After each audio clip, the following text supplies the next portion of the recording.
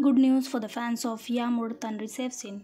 Yağmur Tanrısevsin, who was born in Mersin in 1990, once again gained a strong place in the heart of the audience, especially with the TV series Wounded Heart. The actress, who became known for her character AJ in the TV series I Named Feriha in 2012, later became popular with the TV series Waiting for the Sun.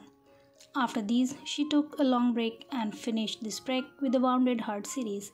Everyone loved the character she played of Aisha Yilmaz in the series. Yağmur Tanrısevsin currently preparing for a commercial. Yağmur is ready for her new project also.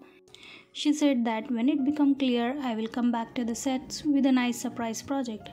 The actress who did not want to start a new project right after a wounded heart also explained the reason for this. She said, I wanted to make the right choice. I do business when there is a right scenario that appeals to me. There are so many beautiful scenarios right now. I will be on the screen again with one of them. So, friends, Yağmur will be back on the TV screen very soon. What do you think about her? Share your thoughts with us and don't forget to subscribe.